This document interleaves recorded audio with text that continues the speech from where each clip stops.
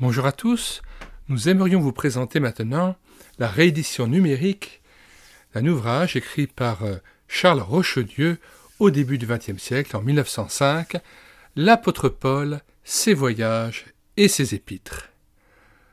Nous en communiquons le lien de téléchargement gratuit dans les commentaires de cette vidéo, ainsi que le lien vers d'autres ouvrages de Charles Rochedieu ou d'autres épisodes de ces guides du lecteur de la Bible. Comme d'habitude avec euh, M. Charles Rochedieu, qui était professeur à l'Institut biblique Emmaüs en Suisse, il y a là un travail très fouillé. Nous avons droit à des tableaux avec euh, notamment des repérages euh, chronologiques et qui nous permettent de mieux pouvoir comprendre et situé dans la vie de l'apôtre ses différents écrits, ses voyages missionnaires. Nous aimerions lire simplement quelques passages du commentaire de M. Rochedieu situé à la fin de ce fascicule. Si l'on embrasse d'un coup d'œil toute l'activité de l'apôtre Paul, on peut constater que ses épîtres, comme sa prédication, ont pour centre Christ, et pour but d'amener toute pensée captive à l'obéissance de Christ. 2 Corinthiens 10, verset 5. Il présente d'abord son maître comme objet de l'espérance des croyants, 1 et 2 Thessaloniciens, puis comme leur justice et leur sainteté, Galates 1 et 2 Corinthiens et Épître aux Romains, puis comme leur tout, leur bien suprême, leur sauveur parfait, Épître de la captivité, nous entendons par épître de la captivité les épîtres à Philémon, épîtres aux Colossiens, aux Éphésiens et aux Philippiens.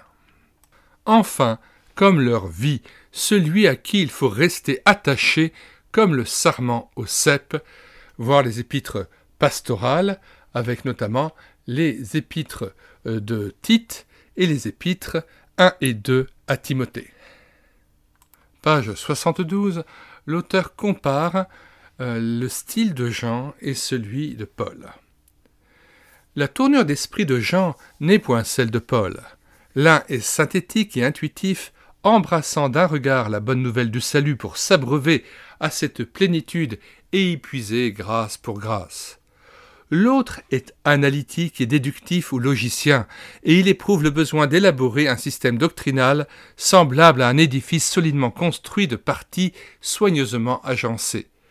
Mais pour l'un comme pour l'autre, en Christ sont renfermés tous les trésors dont Dieu dispose en faveur de l'homme, et toute la vie chrétienne se résume dans la communion avec le Prince de la vie.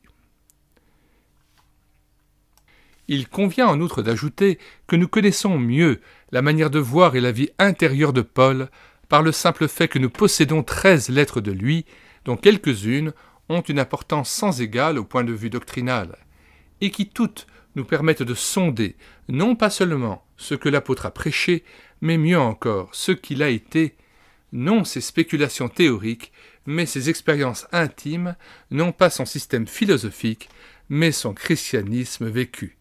Et c'est peut-être ce qui en fait surtout la valeur inappréciable et éternelle. Nous avons dans les écrits du grand apôtre, en y ajoutant ces quelques discours conservés par Luc dans les actes, le moyen sûr de savoir ce qu'est l'évangile authentique.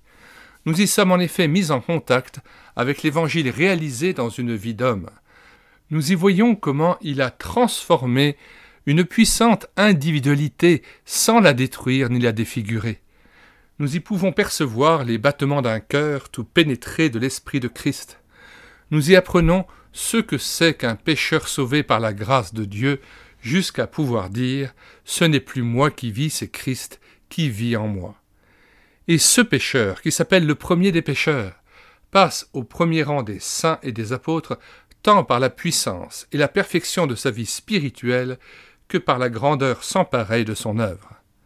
En toute humilité, il peut dire J'ai travaillé plus que tous, car il ajoute Non pas moi toutefois, mais la grâce de Dieu avec moi. Et quiconque porte le nom de chrétien doit rendre grâce à Dieu d'avoir donné au monde ce témoin si fidèle de la vérité ce cœur embrasé d'une flamme si pure et si chaude, cette intelligence si profonde et si lumineuse, ce chrétien si complet et si parfaitement homme qu'il peut servir de modèle aux chrétiens de tous les siècles, de toute langue et de toute race. peut-on se représenter ce que serait le Nouveau Testament sans les quelques pages signées du nom de Paul? Quelle mutilation, quelle perte pour l'humanité, pour le cœur et pour la pensée Paul en moins, et l'Évangile reste comme un arbre rabougri, comme une fleur qui s'entr'ouvre sans pouvoir s'épanouir, comme un fruit qui ne peut parvenir à maturité. Au lieu donc de voir dans ces écrits matière à discussion théorique, nourrissons-en nos âmes, imprégnons-nous du parfum qui s'en dégage, laissons-nous pénétrer et façonner par l'esprit qui les inspire. Si notre évangile est voilé, dit-il lui-même, et les siècles confirment ce verdict, il est voilé pour ceux qui périssent. L'homme psychique, celui qui n'est pas spirituel, ne reçoit pas les choses de l'Esprit de Dieu, et il ne peut les connaître, parce que c'est spirituellement qu'on en juge.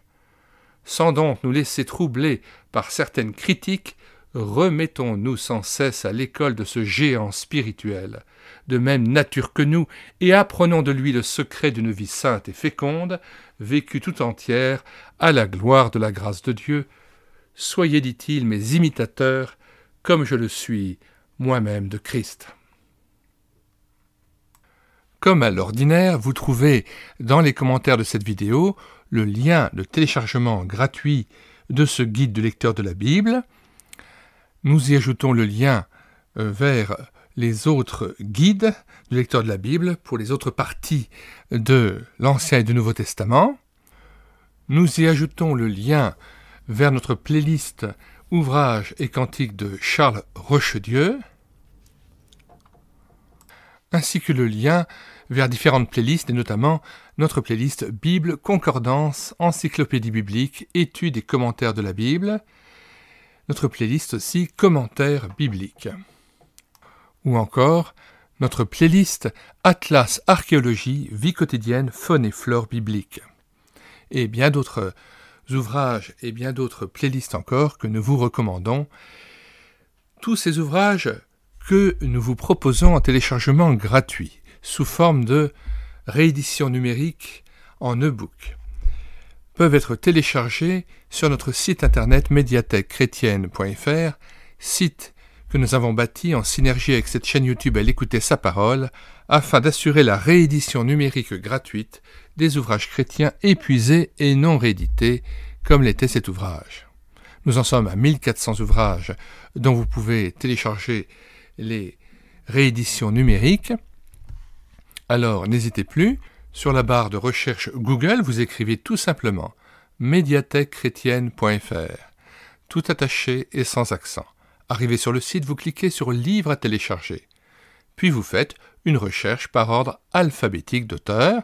Par exemple, vous cherchez A R pour Roche-Dieu, et une fois trouvé l'auteur, vous cliquez sur Lire, écouter, télécharger pour l'ouvrage que vous souhaitez lire après l'avoir téléchargé.